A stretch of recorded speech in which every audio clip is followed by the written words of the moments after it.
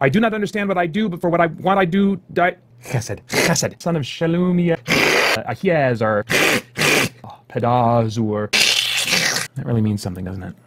Hey, I'm Peter Franson from ChristianGeekCentral.com and Spirit Blade Productions. Well, right now I'm going to attempt to examine the Bible and dissect some of the churchy language that we can sometimes take for granted, digging into history and languages as I'm able to try and get at the heart of the text so we can hopefully see and apply some of what God has for us in these words today. Now, I'm not formally trained in Scripture, I'm just a guy using resources and a questioning mind to try and get at the truth. That's something we can all do, so I hope you'll do that with me. This time we're looking at Ephesians chapter 6 6, verses 10 through 12, as we've been making our way in this series through the book of Ephesians. We're uh, getting closer to the end here. Uh, in the ESV, starting at chapter 10, it, or at verse 10, excuse me, of chapter 6, it reads, Finally, be strong in the Lord and in the strength of his might. Put on the whole armor of God that you may be able to stand against the schemes of the devil. For we do not wrestle against flesh and blood, but against the rulers, against the authorities, against the cosmic powers over this present darkness, against the spiritual forces of evil in the heavenly places. Uh, speaking in broad strokes, the book of Ephesians has been a letter from Paul that first tells believers who we are. That's in chapter 1, verse 1 through chapter 4, verse 16. And then tells us how we should live to fulfill our intended purpose and identity. And I think that's chapter 4, verse 17 until about the end.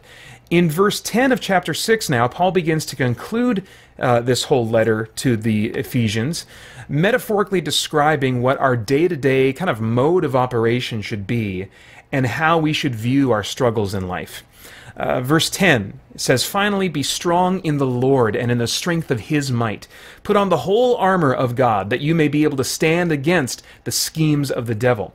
The emphasis in these verses is on the strength of the Lord. Now, believers are told to be strong in the Lord. So there is an act of being we're commanded to undertake, but while there is some action required on our part, the resulting strength is not simply the power of positive thinking or our own determination of will. The strength is found in the Lord. The source is His might. Uh, this power is both offensive and defensive in nature. Having strength is for taking action. That's the more offensive side. And the armor of God is uh, our, for our defense. And in both cases, God is our source of power. Now, with all this talk of offense and defense, I want to be clear it's absolutely vital we have the right perspective on what and who it is we're up against.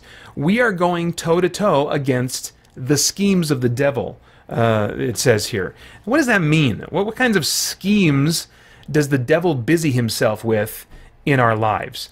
Uh, both the devil and uh, those that are his allies in the spiritual world. Well, generally speaking, despite his portrayals in numerous supernatural horror movies, uh, Satan and his uh, allies are not primarily interested in hurting or scaring people. That makes for some crazy, interesting movies. That does, I don't think biblically that's his primary interest to, to just hurt or scare people. He actually wants to divert our lives away from God's agenda. Um, I, I, I, see that beginning in the Garden of Eden, uh, in Genesis chapter 3, verses uh, 1 through 5, in how he diverted Adam and Eve from their purpose and from what God had told them. Uh, I see that continuing in. Um, Satan's hopes of seeing Job curse God. We see that in Job chapter 1, verse 11. Um, I see it in how he sent his minions to interrupt the ministry of God's angels to humans in Daniel chapter 10, verses 13 and 14. Uh, and he even influenced Peter to envision an alternate agenda for Jesus and his ministry in Matthew 16, 21 through 23. And that was after trying to tempt Jesus himself toward uh, an, an alternate path in Matthew chapter 4, verses 1 through 11. So that's more of what he seems to primarily be about. Um, Verse 12 now, it says, For we do not wrestle against flesh and blood, but against the rulers, against the authorities, against the cosmic powers over this present darkness, against the spiritual forces of evil in the heavenly places. Now, a, a look at the Psalms quickly makes it clear that God's people have certainly had human enemies. And there is a sense in which we still have human enemies. You could probably think of some people in your life that you think of as enemies. But the Holy Spirit is revealing here that no human is our enemy in the truest sense. Yes, people who hurt us are fully responsible for their choices. They are also unwitting tools of Satan's agenda who provides them with tempting, evil choices they choose to embrace. Uh, Satan is a major reason the world is as painful as it is, and placing him in quarantine will actually be a necessary component of Christ's immensely prosperous reign when he physically returns to govern the earth, uh, as is described in Revelation chapter 20, verses 1 through 6. Without Satan and his demonic allies, this world would have far less evil than it does.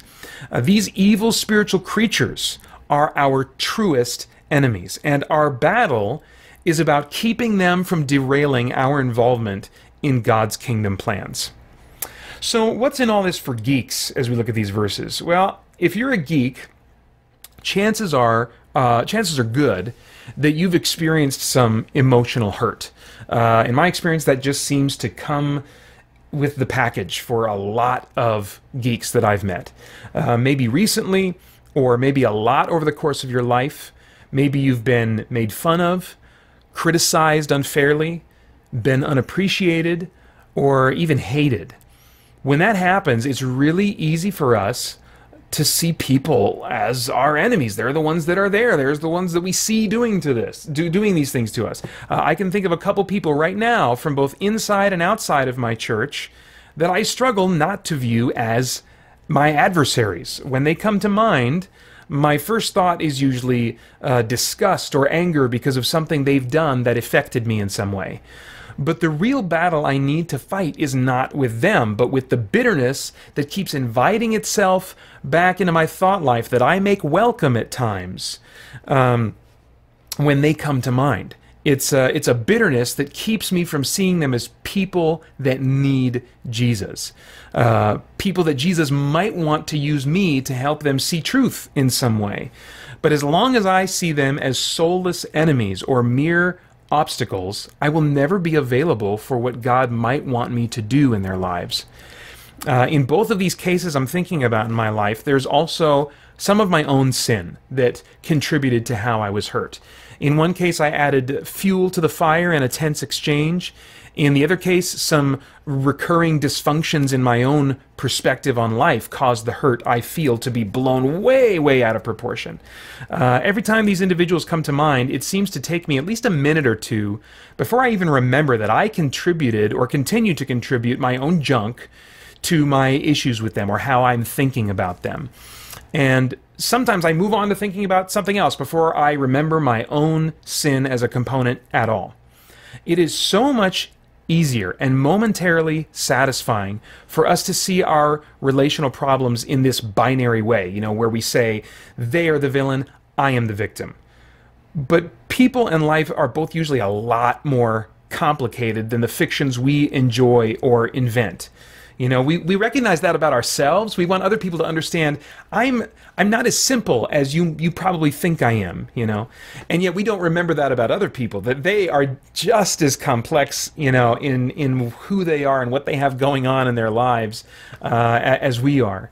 Um, people are, are in life are usually both usually a lot more complicated um, than the fictions we enjoy or or invent. Uh, when we feel like a completely innocent victim, well, we may be. That can and does happen. But we should also ask ourselves if we maybe, just possibly, might have contributed even the smallest bit of our own sin to a situation that hurt us.